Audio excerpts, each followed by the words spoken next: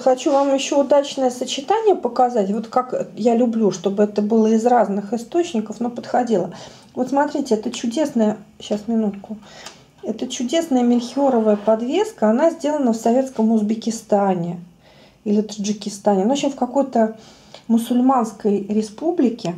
И моя мама это привезла с гастролей. То есть вы видите, да, что это довольно тонкая работа, какой-то камушек посередине, какие-то висюльки. Ну, в общем, главное, что мотив какой? Мотив, что круг, да, а потом такие, а, значит, сделаны, ну, господи, я слова теряю в русском языке. Ну, в общем, такая тонкая работа и внутри черный камушек, да.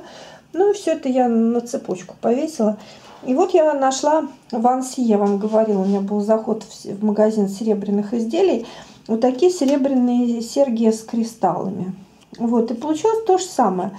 То есть металл светлый, узоры и такие тонкие черные и светлые, по-моему, там есть кристаллики.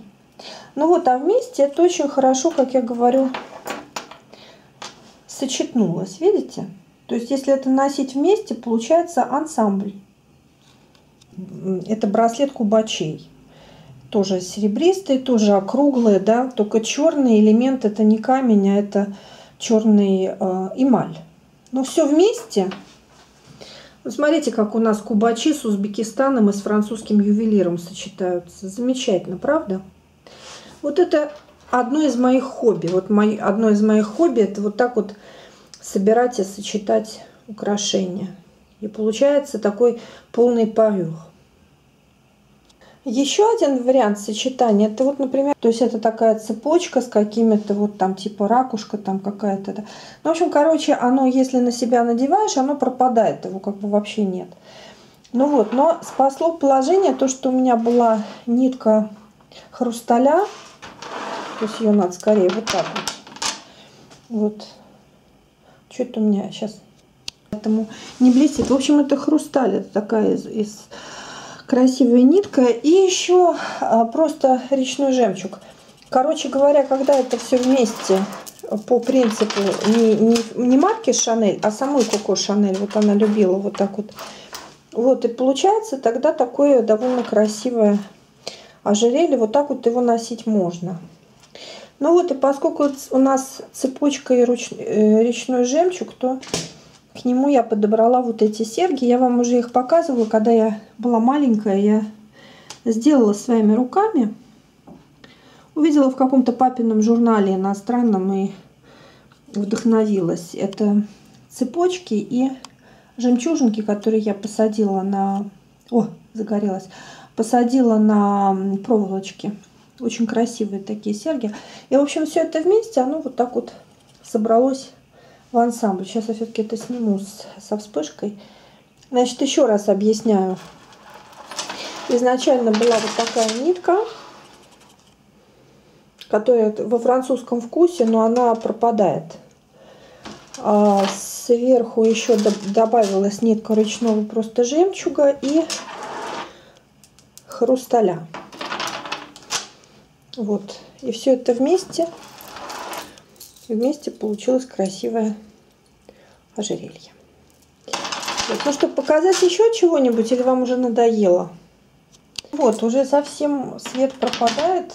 То включается это, то выключается. Сейчас, если навести, то, по-моему, включается. О, включилось. Вот мама когда-то где-то с каких-то гастролей привезла вот такой браслет. Внутри Советского Союза она гастролировала это что это. Вот, к нему такое же кольцо, у которого очень шатается камень. Я его боюсь носить, потому что он прям вот дотрагиваешься, он там шатается. Не знаю, что делают. Наверное, надо обращаться к ювелирам. Ну вот, но в принципе мне попалось вот такое вот ожерелье в интернете из натурального камня. Забыла, что за сайт. Вы меня никогда не спрашиваете, потому что Пока я болела, я столько интернет-магазинов излазила, что я даже и не помню. По-моему, это обратным концом надо класть. Ну вот, ну, в общем, короче говоря, камень-то он же очень похож. И вместе это очень хорошо сочетается. общем, такой зеленый ансамбль получился. По-моему, по-моему, вполне. А, серег не хватает. Это надо подумать, поискать. Вот вариант, ну это же нехоженное поле для самовыражения, правильно? Я вам раз Газинганг. И там продавались ожерелья из натуральных камней. Это моя мама перебрала.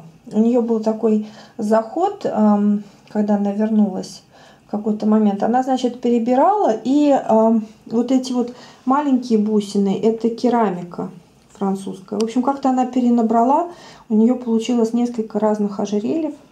Ну, тоже это медитация, знаете, когда очень устаешь, что вот всякие такие рукоделия, они тебя полностью восстанавливают.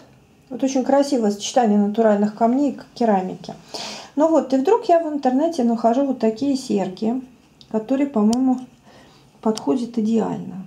Они сами-то по себе красивые, но когда они еще вот с таким вот ожерельем, видите, идеально подходят. Прелесть. Еще бы браслет. Сейчас посмотрю. Это еще вот такие очень удачные творческие решения. Это а, ожерелье из серьги из, Че, из Чехии. А, чешский хрусталь. Ну, я рассказывала эту историю. Сваровский, он тоже же происхождение оттуда, из этой области. Но вот это не Сваровский, это их а, чешский. Ну, вообще, это одно и то же, в принципе. Вот, просто чешский вариант, он всегда, по-моему, дешевле. И у них вот обработка такая, видите, они, как бы вам показать, с обратной стороны уважающие себя ювелиры европейские, они окунают, как мне объяснили французы, в общем, они делают, они убирают вот эту пайку. А, а на чешские отличаются тем, что с обратной стороны видно, как это спаяно. Ну вот, в общем, очень красиво. Я его где-то одевала в каком-то видео. Вот, все эти кристаллы, они, естественно, на лапках. За что я не люблю Сваровски, вот самого, они на клей сажают. И у них просто это все отваливается. А здесь на лапках. Ну, естественно, на лапках, когда мне пришло, там половина была вывалившаяся. И мне каждый раз приходилось ходить к моему ювелиру по кристаллам, чтобы он мне эти лапки зажимал, внятно матерясь, ну и за какие-то деньги. Потому что он возмущался, он говорил, что это вообще, что это такое, вообще халтура. Но если лапки зажать и все поставить на место, то выглядит оно красиво. Я к чему? Я к тому, что я нашла потом в интернете. Это уже совершенно другого происхождения. Вот такой симпатичный браслетик. Летний. Который вот так вот который вот так вот разжимается, раскрывается. Вот. Но дело в том, что вместе это получился абсолютный а, гран-парю, то, что называется. Вот, вот так вот я, вот таким собирательством я занимаюсь. Главное, что я потом это не ношу, потому что я ужасно стеснительный человек. Я просто когда одеваю, на меня все начинают смотреть, я, мне хочется спрятаться под стол. Вот, поэтому это так, Тули вообще, ну это для певиц вообще-то. Лучше бы подошло. Ну вот, вот такой вот ансамблик.